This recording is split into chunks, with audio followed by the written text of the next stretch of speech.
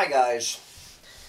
It is just another blah winter day here in the collapse of global industrial civilization here on this frosty Tuesday morning, November 13th, 2018 here in Garfield, Texas. So uh, I need to head out and see if my little baby lettuce plant survived the first frosty night.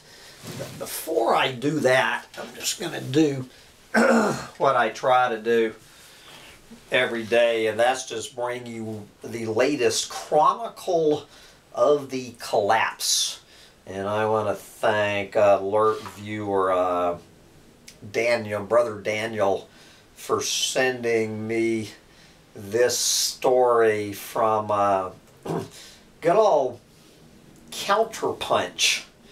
Counterpunch, uh, an excellent website this is a an essay by this woman I had never heard of till this morning. Maybe we should interview this woman. Uh, her name is Carol Dansereau.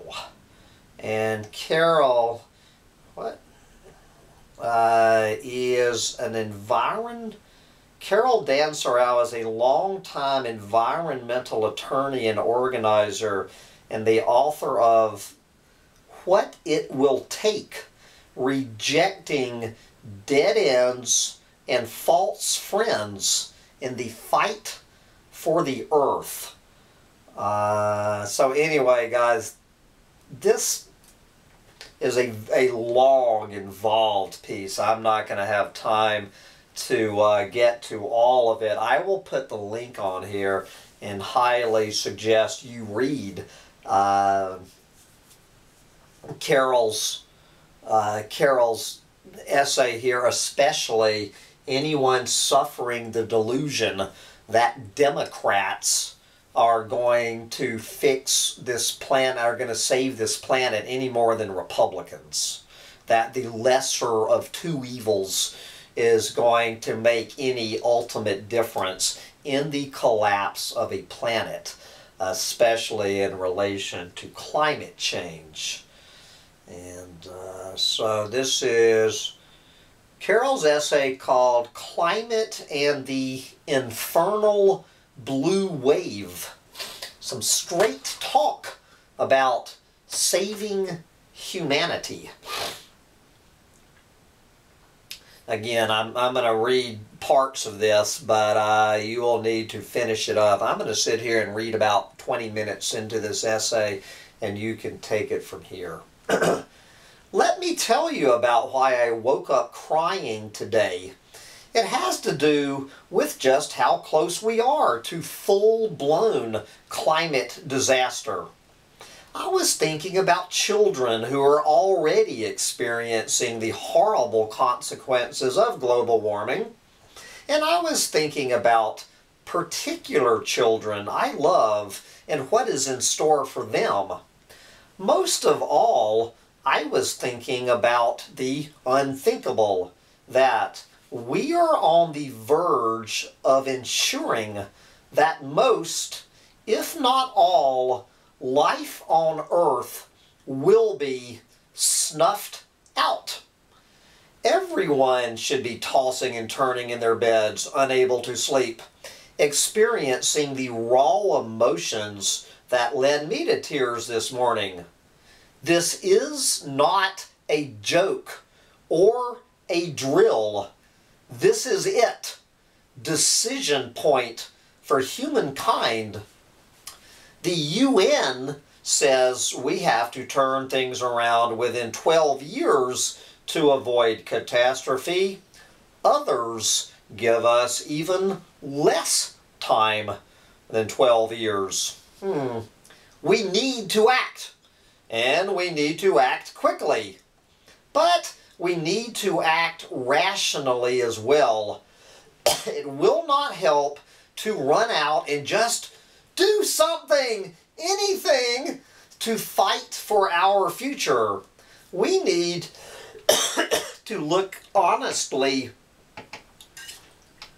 at whether the things we have been doing so far are effective. They are not. The Sierra Club sent me a message a few minutes ago about how we need to redouble the sorts of efforts they have been leading, and in particular, the effort to elect Democrats. They want to mail me a Make America Green Again bumper sticker, which I am supposed to use to persuade others to vote Democrat. I always love these environmental activists, uh, you know, from these mainstream environmental organizations putting bumper stickers on gas sucking cars. Anyway, moving on. Talking about Sierra Club Make America Green bumper stickers. I can't do that. We can't do that because Democrats take us backward on climate. Make America green again? It wasn't green before.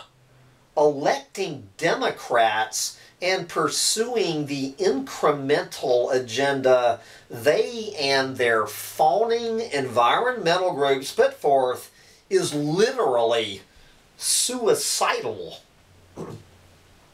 Lots of people believe that prior to Donald Trump, we were on the correct course.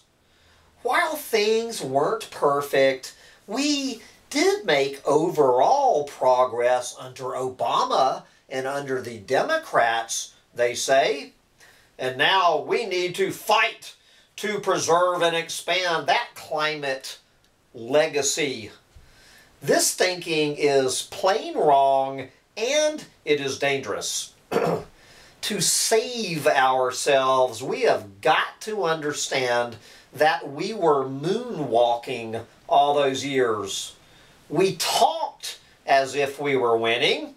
We thought we were moving forward bit by bit, but in truth, we were losing ground dramatically. Like Michael Jackson, we faced forward and we moved our arms and legs resolutely as if moving in that direction while we slid rapidly backwards. Yes, Obama eventually talked about climate change and the need to address it. Yes, he adopted fuel efficiency standards and a clean power plan. He signed the Paris Agreement.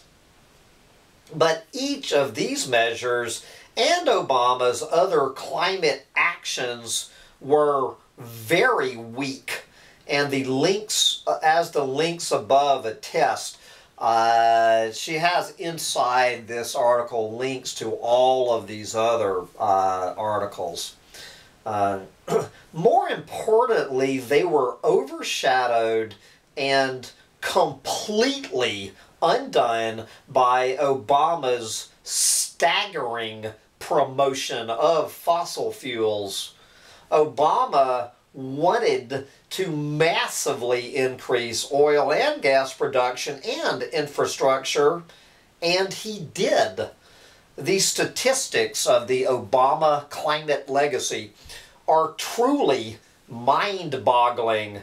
And then what Carol does is just give a laundry list of how Barack Obama, more than any other president in history, well, up to Donald Trump anyway, who will surpass uh, Barack Obama, how Barack Obama did more to uh, promote oil and gas drilling and pipeline construction uh, in this country than any president in history, including uh, Daddy Bush and Baby Bush. And I'm just going to read the first three about how Obama proudly oversaw the single biggest increase in oil production in U.S. history. Number two, dramatically expanded natural gas production. Number three, avidly promoted fracking. Two more, uh, massively expanded offshore oil drilling. And number five, approved the construction of tens of thousands of miles of fossil fuel pipelines, and then down the list uh, talking about how uh, Barack Obama groomed Hillary Clinton, that her number one job as uh, head of the State Department was to promote fracking all around the planet. Hillary Clinton was the uh, Obama's point woman to take fracking planet wide. Uh, the Democratic Party's pro fossil fuel approach was carried out at the state level as well as the federal level. Democratic Governor Terry McAuliffe of Virginia former head of the Democratic National Committee, enthusiastically supported the Atlantic Coast Pipeline. The same Democratic governor of California, Jerry Brown, who was praised for denouncing Trump's proposed expansion of offshore drilling in federal waters, himself greatly increased offshore drilling in state waters. Jerry Brown eased restrictions on drilling and fracking, fired regulators who sought to make drilling safer, and ignored pleas to close the Aliso Canyon natural gas storage facility despite the massive leak there. We lost eight precious years when Obama was president instead of moving forward, we hurtled backwards, both in terms of flooding the world with fossil fuels that have led to greenhouse gases in the atmosphere and in terms of locking ourselves into more of the same via massive infrastructure. It is even possible that Obama's actions and inactions have already pushed the climate to the point of no return. So how do we get fooled? People get confused about what the Democrats actually do in office because many environmentalists and other party loyalists play up token advances as monumental gains. At the same time, they downplay or completely ignore climate destroying actions. They also play games with statistics and then uh, and, and then she breaks some of this down. Uh, how anybody can make statistics lie and then she talks about how emissions graphs are also used to spread confusion. Uh, more importantly, graphs used to imply climate progress in the U.S. don't account for the emissions associated with the huge volumes of oil, gas, and coal we export or the fossil fuel facilities we have financed abroad, nor do they reflect emissions associated with all those products Americans import. If we only look at greenhouse gases generated within our nation, U.S. emissions actually increased by 9% between 1990 and 2014. If we add in the emissions associated with the products we import, the increase becomes 17%. What really matters is what is happening globally, where the overall trend for greenhouse concentrations in the atmosphere has been up, up, up for decades. Global temperatures have also been going up, up, up. All of this means that we, as a species, are going down, down, down. And Democrats, as well as Republicans, are to blame. It is clearly suicidal to continue the long time dominant strategy of the major environmental groups, striving to get Democrats elected and working with them for their incremental reforms. Here is the truth. Carbon taxes, divestment, you know, from fossil fuel corporations, fuel efficiency standards, tax credits for solar panels, setting nice goals, and similarly similar policy measures are not going to work. Nor is begging people to drive less, eat lower on the food chain, and otherwise tread more lightly on the planet and doing all of these things at the same time will not make them magically add up to salvation. To halt global warming, we need to rapidly stop fossil fuel production, period. At the same time, we need to develop and implement comprehensive plans that directly deploy renewables, mass transit, and other climate solutions at the necessary grand scale. We need to provide economic security for all workers, in particular those displaced by climate mitigation, and ensure that every person has the capacity and resources to live healthy lives for themselves and the planet. And from here, uh, the hopium begins. Uh, the hopium begins from this point forward as, uh, you know, once again, uh, the, the bottom line is, in other words, we need to move beyond capitalism. We need socialism. There you go. Uh, neither the Democrats nor the Republican parties are going to move us beyond capitalism. They have made that abundantly clear. And then uh, you can take it from here. And so then, uh, you know, after all of this honest talk, how Democrats are not uh, going to save this planet uh, any, well, a little bit more than Republicans because Democrats obviously uh, promote the global industrial capitalist New World Order, she didn't use that term, uh, you, you, know, the system taking down this planet.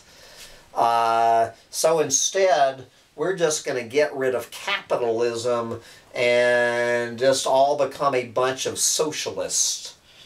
And then that is how we are going to save the planet and maybe uh, she won't have to end up uh, wake up every morning crying about all the little children.